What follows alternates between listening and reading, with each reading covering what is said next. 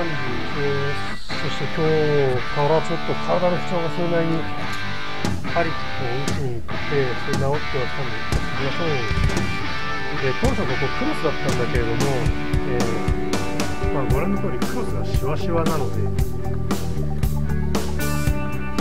まあ、こんな感じでここはうまく腫れたんだそれなりに、まあ、ここら辺がこうシワシワだったりするからまあ一応セットボードで入れるかなって。なんで、えー、そして下地用ですね増量をしてますでこここことあそことりあえず当初ねここ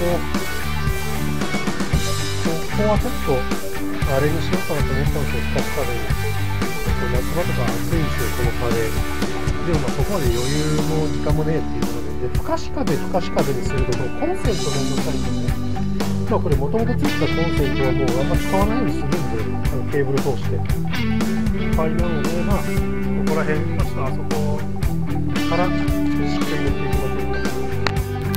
はい、なので、えー、今回は漆喰ですね。ひたすらひたすらひたすらに漆喰です。まあ、まだこのリフォームはいくらかかったかっていう集計出してないんですけど、まあ、少なくとも漆喰だけでおそらく10、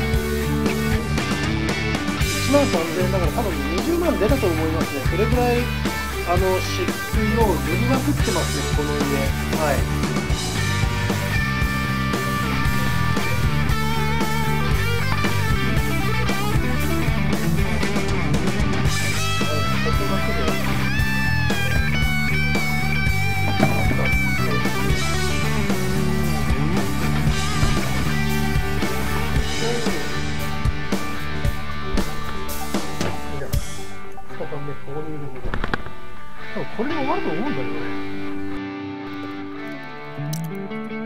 あでも、これが一番広い8畳間になるんで、あまあ、これが、うん、ここさえ乗り切ってしまえば、ここさえ塗り切ってしまえばってとこなんで、まあ、結構かなり、え頑張りましたで、あの、珪藻土とか砂壁の場合には、漆喰の水分自体を吸っちゃうんですよ。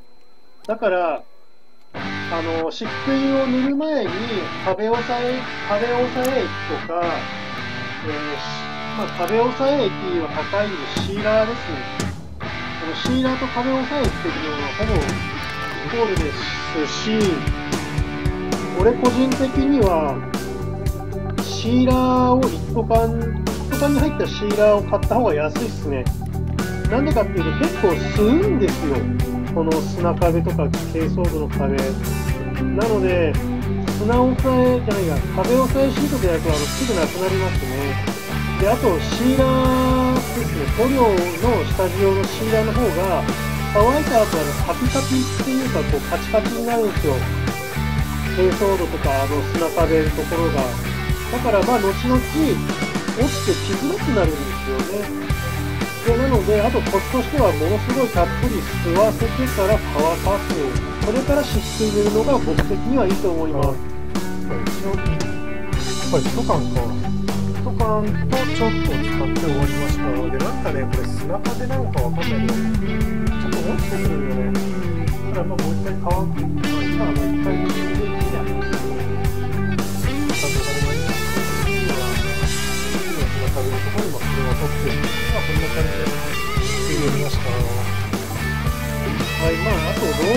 の順番がですね、これ間違ってますね。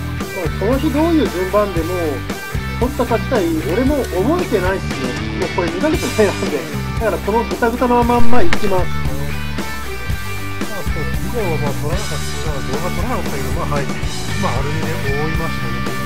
あとは、まあ、両方の色を変えたらですと、2の、ね、ここで、中はまあ、ここになります。まあ、ここで何してるのって言ったら、これですね。まばしらセンサーで、え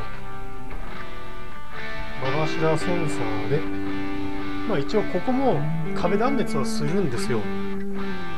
で、実は、これ屋根裏を見たからわかるんですけど、こういうところは、実はこの直の屋根裏のところに変な溝があって、その溝がこれ、これの、このちょうど、なんかレール1本分なんだよね。うん。だから、一応、ここはですね、断熱材を敷けてないっすね、あんま。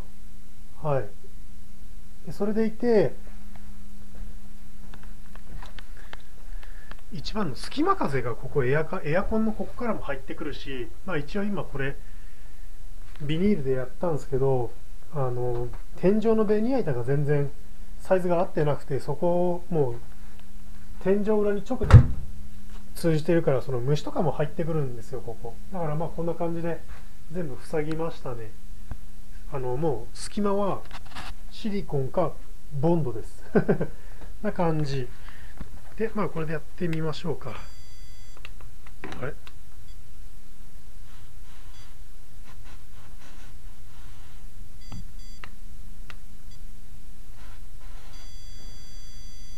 はい。ていうことは、まあここに柱があるので、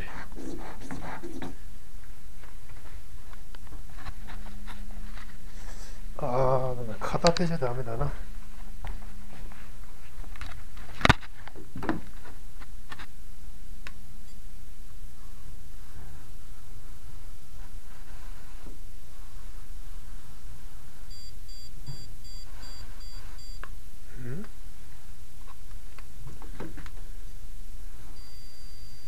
はい。まあ、ここにセンサーあるので、